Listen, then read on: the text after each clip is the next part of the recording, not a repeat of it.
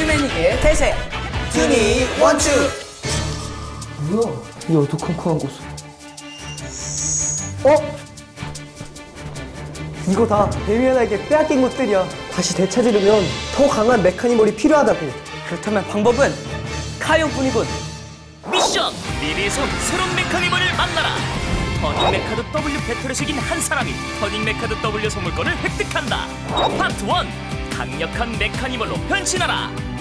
이게 그 최강의 카이온이군요. 카이온 주니어가 힘을 발휘하려면 메카니멀로 변신해야 되는데. 먼저 꼬리를 올려줍니다. 머리를 딱 뒷다리를 슉. 앞다리도 슉. 발톱을 쫙 입만 벌려주면 동물의 양사대로. 변신 와, 간단한데? 그럼 카이온으로 한번 붙어볼까? 파트 2! 승부를 가려라! 메카니멀 go! 이번엔 대형 메카니멀을 이용해 배틀해보는 거 어때? 그럼 난 메가테릭스. 난 메가 드래곤 set up 메카 제더 메카. 불타는 바람 카이온 메카니멀 go! 단 한 번의 승부! 카이온 대 카이온! 간발의 차로 택현 아, 승리! 이겼